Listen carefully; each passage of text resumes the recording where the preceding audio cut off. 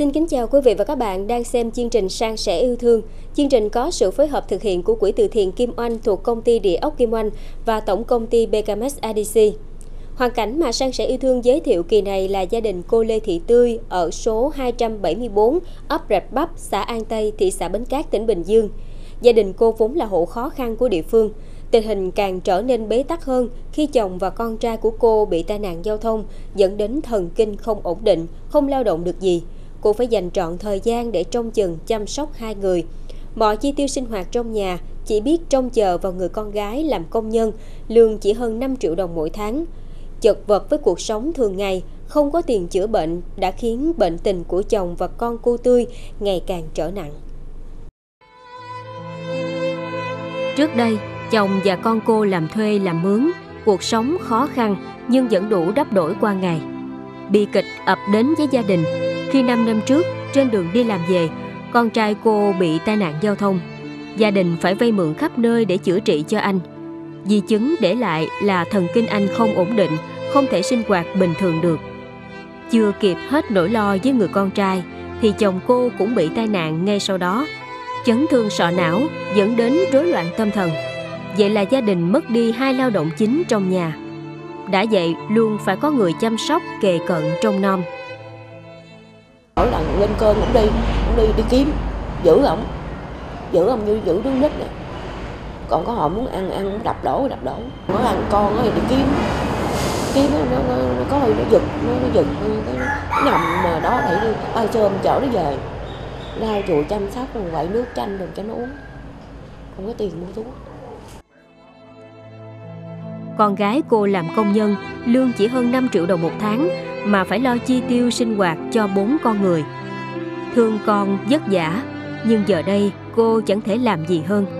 Nếu cô không trông chừng thì chú và anh có thể bỏ nhà đi lạc bất cứ lúc nào hoặc lên cơn đập phá đồ đạc trong nhà.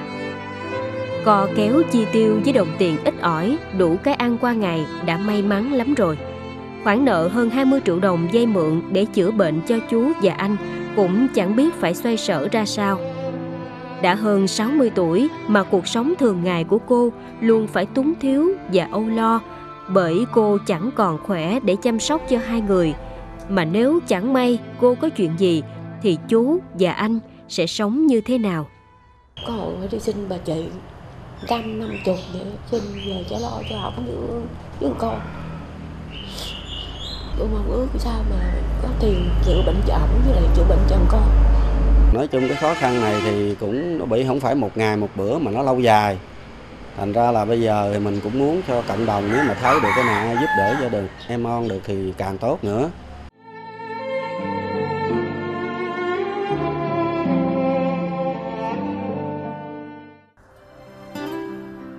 Biết được hoàn cảnh khó khăn của gia đình cô Tươi Hôm nay các nhà tài trợ, các mạnh thường quân của chương trình Sang sẻ yêu thương đã đến thăm hỏi và trao cho gia đình cô những phần hỗ trợ tiền quà nhằm chia sẻ bớt những khó khăn trước mắt với gia đình. Hy vọng với sự giúp đỡ của những tấm lòng hảo tâm ngày hôm nay, cô sẽ có chi phí để đưa chú và anh tiếp tục thăm khám điều trị. Mong rằng bệnh tình của chú và anh sẽ có tiến triển tốt, trở lại bình thường để gia đình nhẹ gánh âu lo và vất vả.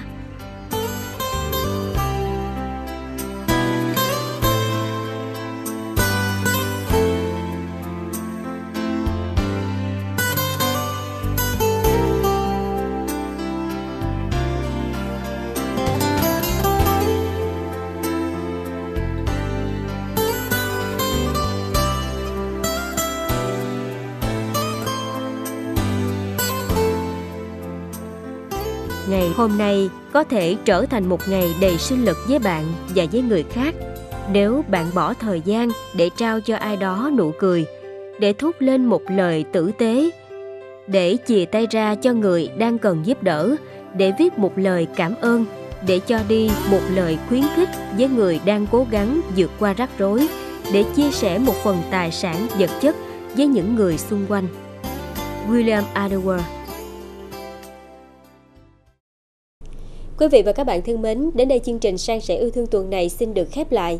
Chương trình có sự phối hợp thực hiện của Quỹ từ thiện Kim Oanh thuộc công ty Địa ốc Kim Oanh và tổng công ty BKMX IDC. Chương trình rất mong nhận được sự chung tay giúp đỡ của quý vị khán giả đến những mảnh đời bất hạnh. Để kết nối với chương trình, quý vị và các bạn có thể liên lạc thông qua số điện thoại 0919 08 5108. Một lần nữa, Sang sẽ yêu thương xin chân thành cảm ơn các nhà tài trợ, các mạnh thường quân đã đồng hành cùng chương trình. Cảm ơn quý vị khán giả đã quan tâm theo dõi chương trình. Mến chào tạm biệt và hẹn gặp lại.